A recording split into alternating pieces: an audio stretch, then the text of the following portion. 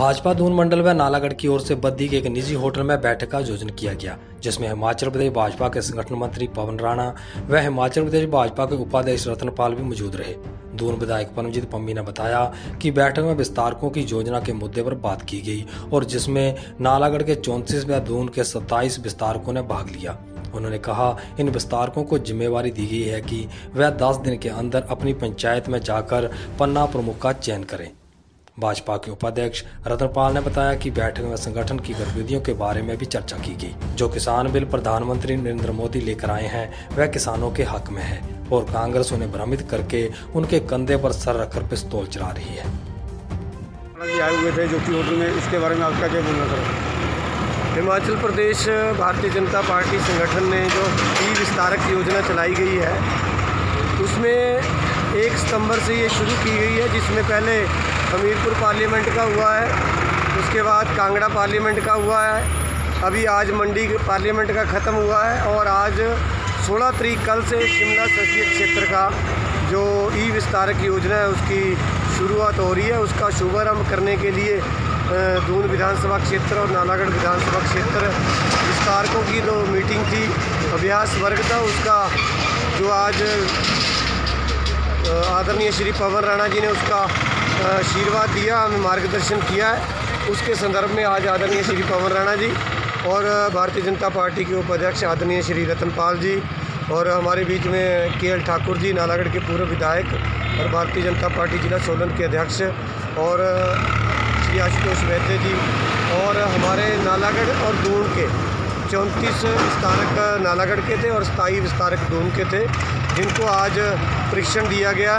ये दस दिन के अंदर अंदर हमारे सभी ग्राम केंद्रों के ऊपर जाकर पन्ना प्रमुख बनाएँगे और त्रिदेव जो है उसमें चाहे बूथ अध्यक्ष है, बूथ पालक है बीएलए है, उनमें अगर कोई चेंज करने का होगा तो उसमें चेंज करेंगे। उसी के संदर्भ में आज मीटिंग का आयोजन किया गया था, जिसमें आदरणीय पवन राणा जी का सभी को मार्गदर्शन मिला। ज्योति होटल में मीटिंग रखी है, सर। पवन राणा जी भी हैं, सर। इसके बारे में आपका क्या बोलना है, सर? आज हर चीज़ का ध्यान रखते हुए कोविड नाइन्टीन की सारी गाइडलाइन को रखते हुए, यहाँ पर आज हमारी संगठन की बैठक थी। इसमें जो आजकल जैसे हमारा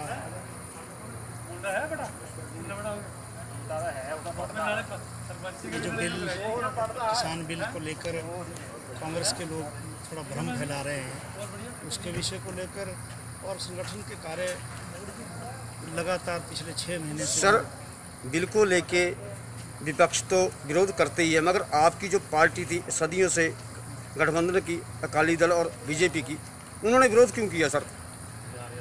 ये जो बिल आया जिस टाइम जो बिल आया उस टाइम सबको ये लगा कि किसानों के खिलाफ ये बिल है। लेकिन मैं स्पष्ट कहना चाहता हूँ कि किसान, जो बड़ा किसान है, वो तो हमेशा अपना जो सामान बेचने के लिए, अपना प्रोडक्ट बेचने के लिए हिंदुस्तान में कहीं भी जा सकता था। लेकिन वो बड़ा किसान था, छोटे किसानों को दिक्कत होती थी कि साथ में लगती, जैसे मंडिये होती थी, वहाँ जाना, उन्होंने फिर अपना जो आड़ती वहाँ बैठे होते थे आड़तियों से परमिशन लेने की हम अपना यहाँ माल बेचेंगे, फिर उसके बाद उनके ऊपर कमीशन लगती थी। अब हमारा किसान फ्री है। वो कहीं भी जाकर पूरे हिंदुस्तान में, कश्मीर से कन्याकुमारी तक अपना प्रोडक्ट कहीं भी बेच सकता है। और इसमें तो हम धन्यवादी है अपने आदरणीय प्रधानमंत्री नरेंद्र मोदी जी के, कृषि मंत्री जी के, कि उन्होंने एक ऐसा बिल पास किया है कि किसान अपनी आय को दुगना करने के लिए, हो सकता है कि आपके यहाँ पर जीरी की फ़सल है जैसे। जीरी की फ़सल आप अपने ही क्षेत्र में बेचने के लिए बाध्य हो। आज की डेट में आप कहीं भी जीरी बेच सकते हैं, पूरे हिंदुस्तान में किसी भी मंडी में बेच सकते हैं और डायरेक्ट जो खरीदार है, सेलर को भी बेच सकते हैं। पहला ये नहीं, बहुत कुछ है इसमें। अगर इसको देखा जाए तो अगर समझा जाए, समझने के बाद ही हम इसमें बोले तो ज़्यादा अच्छा रहेगा।